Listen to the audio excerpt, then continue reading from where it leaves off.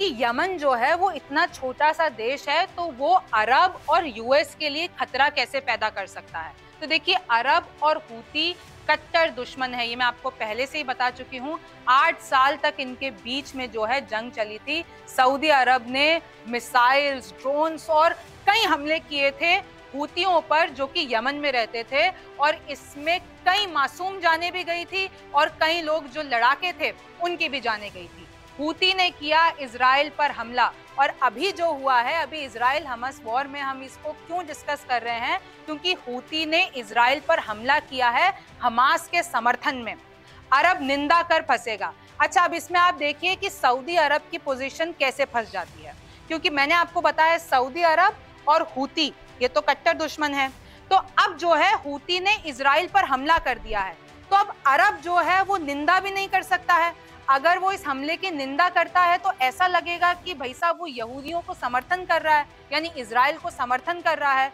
Iran Houthi का पक्ष भी नहीं ले सकता है। अब ईरान और ईरान और हूती, आप देख लीजिए, ये जो शिया वाले हैं तो उनका पक्ष भी नहीं ले सकता है। क्योंकि अगर पक्ष लेगा तो उससे फंस जाएगा, क्योंकि आपको पहले ही मैं बता चुकी हूँ कि हूती और अरब जो है, वो कट्टर दुश्मन है। आगे बढ़ते हैं। अरब के ऊपर से गुजरेगी मिसाइल। ये मैंने आपको मैप से समझा दिया था कि यमन के इस तरफ़ सना से जो मिसाइल्स हैं, वो इसराइल की तरफ़ दागी गई। तो आप देख लीजिए, बीच में सऊदी अरब है। क्या पता अगर मिसफायर हो जाए तो? और क्या पता अगर बीच में अटक जाओ और गिर जाओ और ऐसा पहले भी हो चुका है। हूती ने सऊदी अरब पर अपनी मिसाइलें दागी थी। 2019 में हूती का अरब पर हमला। ये मैंने आपको बताया और इसके कारण क्या हुआ था? जब 2019 में हूतियों ने अरब पर हमला किया था और कहाँ पे किया था? जहाँ पे उनके ऑयल टैंकर्स थे यहाँ पे, जहाँ पर उनका ऑयल का पूरा बिज़नेस चलता है तो उसके बाद में एक्सपोर्ट में भी यहाँ पर अरब में कमी आ गई थी तेल की। इसराइल यूएस ईरान में क्या पक्ष? अब देखिए मैंने आपको जैसे बताया, अरब फंस गया है। कि अगर पक्ष ले तो किसका ले?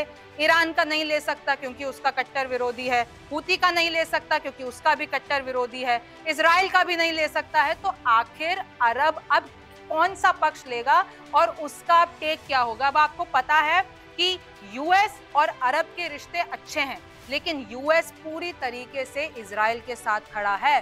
तो अब जो सऊदी अरब है उसका जो ऑप्शन चुनना है, वो बहुत ही मुश्किल हो जाता है। उसको समझ में नहीं आ रहा है कि इधर खाई है, इधर कुआँ है, आखिर किया क्या जाए? और देखिए, एक बार अगर सऊदी अरब इस जंग में कूद गया तो आप देख लीजिए, इतनी भारी तबाही होने वाली है, क्योंकि इस्लामिक वर्ल्ड का सऊदी अरब राजा माना जाता है। और अभी तक उसने सिर्फ़ इसराइल के हमलों की निंदा की है, लेकिन अभी तक कोई स्ट्रॉन्ग टेक नहीं लिया है।